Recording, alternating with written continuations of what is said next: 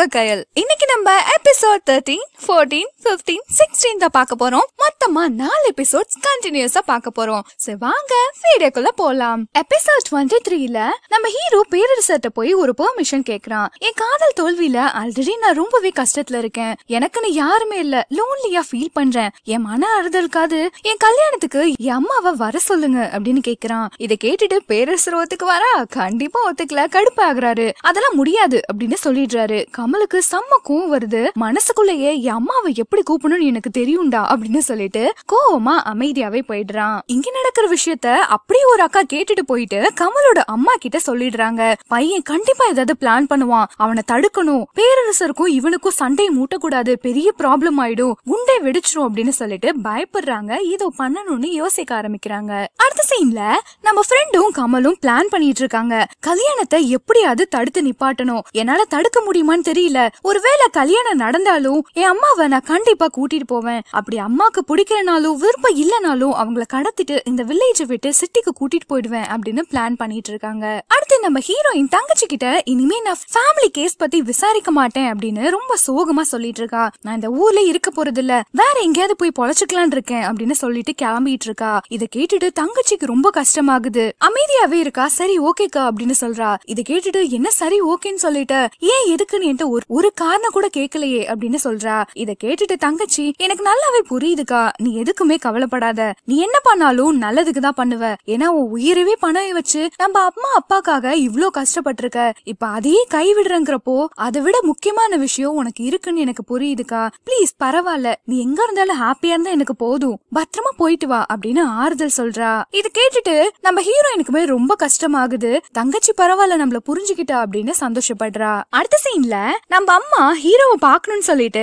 ஒரு வேலைக்காரங்களை விட்டு அனுப்பிச்சிருப்பாங்க. சோ இப்ப பல வருஷம் கழிச்சு நம்ம ஹீரோ அம்மாவை பாக்குறான் பார்த்த உடனே அம்மா அப்படின்னு சொல்லிட்டு அழுக ஆரம்பிக்கிறான். அம்மான்னு மண்டி போட்டு அழுகுறான். செம்மையா அழுகுறான். இத பாக்குறப்ப எனக்கு ரொம்ப கஷ்டமாயிடுச்சு. செம்ம ஆக்டிங் வேற லெவல் ஆக்டிங் ஏமா என்னை விட்டு இத்தனை வருஷம் பிரிஞ்சிருந்தீங்க? உங்களுக்கு என்ன நிஜமாவே பிடிக்காதா? நான் தான் ஏதோ பாவம் பண்ணிட்டேன். நான் தான் பாவி அப்படின்னு சொல்லிட்டு தலையில அடிச்சுட்டு அழுகுறான். பாவம் அம்மாவும் அவனை கட்டி பிடிச்சிட்டு அழுகுறாங்க. இல்லடா உன் தப்பு எதுவுமே இல்ல. எல்லாமே ஏன் தப்பு தான் நான் பண்ண தப்புனாலதான் என் மகன் இவ்ளோ கஷ்டப்பட்டு இருக்கான் இவ்ளோ நாள் நான் பிரிஞ்சு இருந்திருக்கேன்னு அழுகுறாங்க. அப்புறம் அவனை பாசமா என் பிள்ளை எவ்வளவு அழகா இருக்கான். எவ்வளவு நல்லா வளர்ந்துட்டான். என்னை விட பெருசா வளர்ந்துட்டான்னு சொல்லிட்டு குழந்தைய பார்த்து ரொம்ப சந்தோஷப்படுறாங்க. உன்னை குழந்தையில இருந்தே தூக்கி வளர்க்க முடியாத பாவி ஆயிட்டேனே அப்படின்னு அழுகுறாங்க. அப்புறம் பேரரசருக்கு எதிரா எதுவுமே பண்ணாத. நான் உன் கூட எங்கேயுமே வரப்போறது இல்ல தயவு செஞ்சு புரிஞ்சுக்க.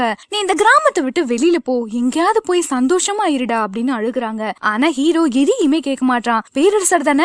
எப்ப பாரு பேரரசர் பேரரசன். அந்த ஆளு உங்களை அடைச்சு வச்சிட்டு இருக்காமா இன்னமும் எதுக்கு அந்த ஆளை பத்தி பயப்படுறீங்க? அப்படின்னு பேரரசர் மேல ரொம்பவே கோவமா இருக்கான். சரியான கோவத்தை திட்டிட்டு இருக்கான். இப்பதான் அம்மா சொல்றாங்க அவர் மேல எந்த தப்பும் இல்ல. நானா விருப்பப்பட்டு தான் இங்க இருக்கேன். அவர் என்ன அடைச்சு வைக்கலடா. அவர் என்ன புடிச்சும் வைக்கல. தயவு செஞ்சு அம்மா சொல்றது கேளு. என்ன கூட்டிட்டு போகணும்னு நினைக்காத. நீங்க இருந்து எங்கேயாவது போயிடு. தனியா இரு. சந்தோஷமா இரு அப்படின்னு அழுகுறாங்க. நம்ம ஹீரோ கேக்குறானா? சுத்தம். கேட்கவே மாட்றான். அடுத்து நம்ம கமலுக்கும் அந்த அரவைக்காடு பொண்ணுக்கும் கல்யாணம் நெருங்கி வந்துருச்சு. ரெண்டு பேருமே மேக்கப் பண்ணிட்டு இருக்காங்க.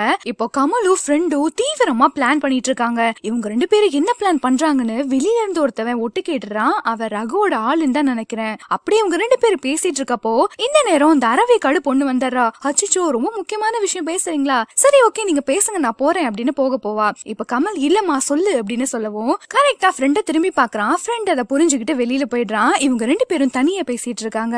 இன்னைக்கு நம்ம கல்யாணம் நடக்க போகுது நான் ரொம்ப சந்தோஷமா இருக்கேன். சின்ன வயசுல இருந்தே உங்களை பத்தி கேள்விப்பட்டிருக்கேன். ஆனா உங்களை நேரா பார்த்ததுல இருந்து என் மனசே பறி கொடுத்துட்டேன். எனக்கு தெரியும் என் மேல உங்களுக்கு காதல் வராதுன்னு. ஆனாலும் ஃபியூச்சர்ல என் மேல எப்பவாவது காதல் வந்தா உடனே என்கிட்ட வந்து சொல்லுங்க. எத்தனை வருஷம் ஆனாலும் நான் உங்களுக்காக காத்துட்டு இருப்பேன் அந்த ஒரு சந்தோஷத்துக்காக தான் என் உயிரை புடிச்சிட்டு இருக்கேன் அப்படின்னு சென்டிமெண்டா பேசுறா. கமலுக்கு ரொம்பவே கில்ட்டி ஆகுது. என்னால உன்னை மேரேஜ் பண்ணிக்க முடியாதுமா சாரி அப்படின்னு மனசுக்குள்ளே கேட்டுக்கிறான். அவனும் ரொம்பவே ஃபீல் பண்ணிட்டு இருக்கான் ஆனா எனக்கு என்னமோ இந்த டிராமாலேயே இந்த அரவைக்காடு பொண்ணு தான் ரொம்ப பாவம் போல தெரியுது. அப்படி இந்த சீனை கட் பண்றாங்க. இங்க நம்ம வில்லன்க குரூப் தான் காட்டுறாங்க. கமல் கமலோட எல்லா பிளானையுமே தெரிஞ்சுக்கிட்டு அவன் இந்த வில்லேஜ் விட்டு வெளியில போன அடுத்த செகண்ட் அவனை கொன்றணும் அப்படின்னு பிளான் பண்ணிட்டு இருக்காங்க. இந்த நேரம் கரெக்டா வெளியில அரவேக்காடு ஜாலியா அக்காவை பார்க்க போறேன் அப்படின்னு சரிதாவை பத்தி யோசிச்சுட்டே வந்துட்டு இருக்கா. அவளுக்கு மேரேஜ் இல்ல. இவளுக்கு மேரேஜ் ஆக போற காரணமே சரிதா தான். சோ அவளை பார்த்து சந்தோஷமா விஷயத்த சொல்லிட்டு பேசிட்டு போலான்னு வந்திருப்பா. இந்த நேரம் இங்க ரெண்டு பேரும் கமலை கொல்றதுக்காக பிளான் பண்ணிட்டு இருக்கிறது அவ காதல வந்து விழுகுது. நல்லா ஒட்டு கேட்க ஆரம்பிக்கிறா. சோ இவங்களோட பிளான் நம்ம அரவேக்காடுக்கு நல்லாவே தெரிஞ்சிருது. இந்த நேரம் வெளியில ஒரு காவலாளி பொண்ணு நிக்க வச்சிருப்பாங்க. அந்த பொண்ணு பாத்துட்டு இங்க என்ன பண்றீங்க? என்ன கேட்டுட்டு இருக்கீங்க? அப்படின்னு சவுண்டா பேசிடுவா. இதை கேட்டுட்டு அந்த பொண்ணு புடிச்சு தள்ளி விட்டு அரவேக்காடு வேகமா பதறி போய் ஐயோ அப்படின்னு ஓடிக்கிட்டே இருப்பா. இந்த சவுண்ட் கேட்டு சரிதா பின்னாடியே ஓடி வரா. அவளை புடிச்சு எல்லாரும் துரத்துங்க. அவளை கண்டுபிடிங்க அப்படின்னு சொல்லிட்டு இருக்காங்க. பாவம் தலை தெரிக்க அந்த அரவேக்காடு அந்த அரண்மனையை சுத்தி ஓடி ஓடி வந்துட்டு இருக்கா. எப்படியாவது தப்பிச்சிடணும்னு சொல்லிட்டு நம்மளும் உயிரை கையில புடிச்சிட்டு பாத்துக்கிட்டே இருப்போம். கடைசியில சரிதா கிட்ட மாட்டிடுறா. சரிதா சரிதாவும் எதுவுமே நடக்காத மாதிரி என்னாச்சு? ஏன் என்ன பார்த்து ஓடுற? அப்படின்னு கேஷுவலா கேக்குறா. அவளும் இல்ல ஒண்ணும் இல்ல அப்படின்னு சொல்லிட்டு அவளும் கேஷுவலா பேசுற மாதிரி நடிக்கிறா. பட் இவ திரு திருன்னு முழிக்கிறது சரிதாக்கு நல்லாவே புரிஞ்சிருது. என்ன? என்ன கேட்ட? ஏன் பயந்து ஓடுற? அப்படின்னு யதார்த்தமா கேட்கவும் இல்ல ஒண்ணும் இல்ல அப்படின்னு அவ பதட்டப்பட ஆரம்பிக்கிறா. ஒழுங்கா சொல்லு அப்படின்னு இவ மிரட்டவும் ஏன் இப்படி பண்ற? எனக்கு கமலை எவ்வளவு பிடிக்கும்னு உனக்கே தெரியும். இப்படி அவளை கொல்ல பிளான் பண்றியே. ப்ளீஸ் நான் உன்கிட்ட கெஞ்சி கேக்குறேன். கல்யாணத்துக்கு அப்புறம் நான் அவரை எங்கேயாவது கூட்டிட்டு போயிடுறேன். ப்ளீஸ் தயவு செஞ்சு உன் கால்ல விழுந்து கேக்குறேன் எதுவுமே பண்ணிடாதீங்க. எனக்கு அவரை ரொம்பவே பிடிக்கும். நான் அவர் கூட வாழணும்னு ஆசைப்படுறேன். என்னோட கடைசி காலம் அவர் கூடவே போகட்டும். ப்ளீஸ் என்னை எதுவும் பண்ணிடாதீங்க. அவரே எதுவும் பண்ணிடாதீங்க. என்னை விட்டுருங்க நான் இந்த விஷயத்த பத்தி யார்ட்டுமே சொல்ல மாட்டேன் அப்படின்னு கெஞ்சிரா இப்ப கோவப்பட்ட சரிதா இவளை இப்படியே விட்டா ஆபத்து. அவளை புடிச்சு அரண்மனைக்குள்ள அடைக்கலாம் அப்படின்னு சொல்லிட்டு தர தரணி இழுக்க போவா. இப்போ அரவக்காடு அவளோட ஹேர் பின் எடுத்து சரிதா பக்கத்துல வராத நான் உன்னை கொன்றுவேன் அப்படின்னு சொல்லிட்டு மிரட்டிட்டு இருக்கா. இப்படியே உங்க ரெண்டு பேரும் செம்மையா சண்டை போட ஆரம்பிக்கிறாங்க. இப்போ சரிதா அந்த பாப்பாவோட நெஞ்சிலேயே அந்த ஹேர் பின்ன வச்சு குத்திடுறா. அப்படியே விட்டா கூட இவ தப்பிச்சிடுவா போல. ஆனா விடாம இவ உயிர் பொழைச்சிட கூடாதுன்னு இன்னும் நல்லா வச்சு அழுத்திடுவா. குத்து குத்துன்னு நெஞ்சிலே குத்த ஆரம்பிக்கிறா. இதே இடத்துல அறவேக்காடு பாவமா இறந்து போயிடுறா. சரிதாக்கு ஒண்ணுமே புரியல. கோவத்துல ஏதோ குட்டிடா. அதுக்கப்புறம் ரொம்ப பயப்படுறா. இப்போ அந்த நேரம் கரெக்டா மூத்தவன் வந்துடுறான் என்ன பண்றதுன்னு தெரியல. கோவத்துல பண்ணிட்டேன் அப்படின்னு பதட்டப்படுவா. சரி சரி விடு பாத்துக்கலாம் அப்படின்னு அவன் சொல்றான். இந்த பணத்தை வச்சே படுபாவிங்க ஏதோ பிளான் பண்றாங்கன்னு நல்லாவே புரியுது. இங்க நம்ம ஹீரோயின் இந்த வில்லேஜை விட்டு கிளம்புறதுக்காக ரெடியா கிளம்பிட்டு வருவா. கடைசியா அவ வாழ்ந்த இடத்த வந்து பாக்கலாம்னு சொல்லிட்டு அந்த பழைய வீட்டுக்கு வருவா. அங்க வந்துட்டு அம்மா அப்பா கூட சந்தோஷமா இருந்தது எல்லாத்தையும் நினைச்சு பாக்குறா என்ன மன்னிச்சிடுங்கம்மா. கமல் அப்பா தான் எல்லா தப்பும் பண்ணிருக்காங்கன்னு தெரிஞ்சும் என்னால பழி வாங்க முடியல. என் உயிரை பல முறை காப்பாத்தின கமலுக்காக தான் இது எல்லாத்தையுமே நான் பண்ணிட்டு இருக்கேன். அதுக்காக நன்றி கடனுக்காக தான் பழி வாங்காம போறதுன்னு முடிவு பண்ணிருக்கேமா அதுதான் நல்லது அப்படின்னு ஃபீல் பண்ணிட்டே அழுகுறா. இதே நேரம் இங்க ஃப்ரெண்ட் என்ன பண்றான்? அம்மாவை அவசர அவசரமா கூட்டிட்டு ஊருக்கு வெளியில வெயிட் பண்றதுக்காக கூட்டிட்டு போயிட்டு இருக்கான். இது எல்லாமே கமலோட பிளான் தான். சோ மேரேஜ் முடிஞ்சதுக்கு அப்புறம் அம்மாவை கூப்பிட்டுட்டு வேற ஊருக்கு போயிடலாம் அப்படின்னு சொல்லிட்டு நம்ம ஹீரோ பிளான் பண்ணிருக்கான். நம்ம ஹீரோக்கு மேரேஜ் நடக்குமா நடக்காதான்னு ஒண்ணுமே புரியல. போக போக பார்க்கலாம். இதே நேரம் இங்க சக்தியை காட்டுறாங்க. கயல் கயல் அப்படின்னு வீடு ஃபுல்லா தேடிட்டு இருக்கா. இப்போ அவளோட ரூம்ல வந்து பார்த்தா ஒரு லெட்டர் எழுதி வச்சுட்டு போயிருவா. அது ரொம்பவே கஷ்டமா இருக்கும். உருகி உருகி எழுதிருப்பா அதை பார்த்துட்டு சக்தி சக்தி ரொம்பவே ஃபீல் பண்றா. எப்படியாவது இந்த ஊரை விட்டு போகங்குள்ளேயே அவளை காப்பாத்தலாம் அப்படின்னு யோசிக்கிறா. ஒரு பக்கம் அவ இங்க இருந்து போனாதான் அவளுக்கு நிம்மதி தனியா சந்தோஷமா இருக்கட்டும்னு இன்னொரு பக்கமும் தோணுது. சக்தி என்ன பண்ண போறான்னு தெரியல. அவளை நினைச்சு ரொம்பவே கவலைப்பட்டுட்டு இருக்கா. அதுக்கப்புறம் ஃபீல் பண்ணிட்டு சரி ஓகே நம்ம மண்டபத்துக்கு போய் என்ன நடக்குதுன்னு பார்க்கலாம் அப்படின்னு சொல்லிட்டு சக்தி வேகமா மண்டபத்துக்கு வந்துட்டு இருப்பா. இங்க மேரேஜ் நடக்கிற இடத்த தான் காட்டுறாங்க. எல்லாருமே பொண்ணு மாப்பிள்ள எங்க பொண்ணு மாப்பிள்ள எங்கன்னு சொல்லிட்டு மாப்பிள்ளைக்காக வெயிட் பண்ணிட்டே இருக்காங்க.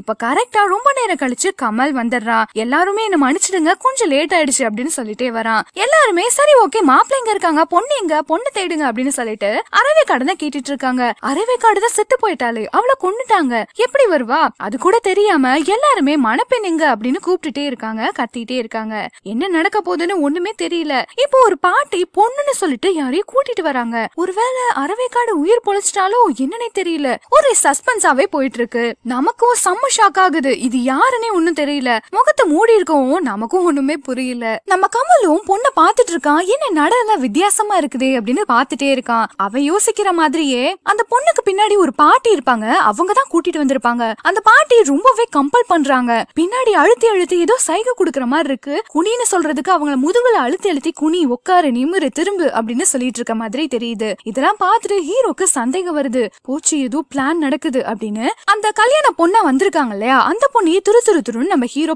பாத்துட்டே இருக்கான். கொஞ்ச நேரத்துல எல்லா சடங்குமே முடிஞ்சிருது. மேரேஜும் நல்லபடியா நடக்குது. இந்த நேரம் ஹஸ்பண்ட் ஒய்ஃப் ரெண்டு பேருமே குனிஞ்சு வணக்கம் சொல்லிப்பாங்க. இப்ப கரெக்டா முகம் முகத்துல போட்டிருப்ப ஒரு ஸ்கிரீன் மாதிரி போட்டிருப்பாங்க. அந்த துணி விலகுது. இத கவனிச்ச இந்த பாட்டி நல்லா முகம் தெரியாம இறக்கி இறக்கி விட்டுட்டே இருக்காங்க. குனியறப்ப நம்ம ஹீரோ எட்டுட்டே பாக்குறான் பட் அவனால முடியல. கன்ஃபார்ம் ஆயிடுது. இங்க ஏதோ ஒரு ப்ராப்ளம் நடக்குது அப்படின்னு சொல்லிட்டு. இந்த நேரம் கரெக்டா ரகுவோட மூத்த பையன் வரான். அரவேக்காட கொன்ன குற்றத்துக்கு உன்னை அரெஸ்ட் பண்றேன். அரவேக்காட கொன்னுட்டு இங்க என்ன டிராமா போட்டுட்டு இருக்கியா உன்னை பேரரசர் கிட்ட கம்ப்ளைண்ட் பண்றேன். உன்னை புடிச்சு கொடுக்கணும். நீ ஒரு குற்றவாளி நீ ஒரு கொலகாரன் அப்படின்னு கத்திட்டு இருக்கான் இதை கேட்டுட்டு சுத்தி இருக்க எல்லாருக்குமே செம்ம ஷாக் ஆகுது. கமலுக்கும் தான் புரியல. என்னடா பிளான் பண்ணிட்டு இருக்க பரதேசி நாயே அப்படின்னு கத்திட்டு இருக்கான் இப்போ கரெக்டா அந்த அரவைக்காடு பொண்ணோட பாடியை எல்லாரும் முன்னாடியும் காட்டுறாங்க. முகத்தை திறந்து காட்டவும் இத பார்த்துட்டு சக்தியும் அம்மாவும் கதறி கதறி அழுகுறாங்க.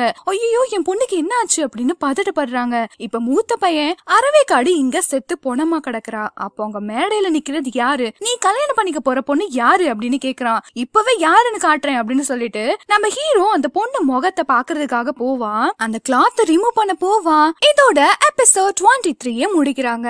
கீழே டிஸ்கிரிப்ஷன்ல எபிசோட் டுவெண்ட்டி ஃபோர் இருக்கும். போய் செக் பண்ணி பாத்துக்கோங்க நம்ம வீடியோஸ் உங்களுக்கு கண்டிப்பா பிடிக்கும். நான் சொல்ற விதமும் உங்களுக்கு பிடிக்கும்னு எனக்கு நம்பிக்கை இருக்கு. அப்படி உங்களுக்கு பிடிச்சிருந்தா மறக்காம ஒரு லைக் பண்ணிட்டு எனக்காக கமெண்ட் பண்ணிடுங்க. அது எனக்கு கொஞ்சம் மோட்டிவேஷனா இருக்கும். நான் ரெகுலரா போடுறதுக்காக. சோ எனக்கு நீங்க ரெகுலரா சப்போர்ட் பண்ணுங்க. அடுத்து என்ன டிராமா போடலாம் அப்படின்னு நீங்க எனக்கு கொஞ்சம் சஜஷன் கொடுங்க. ஓகே ஃப்ரெண்ட்ஸ் பாய் மறக்காம கீழே டிஸ்கிரிப்ஷன்ல அடுத்த எபிசோடையும் போய் பாத்துருங்க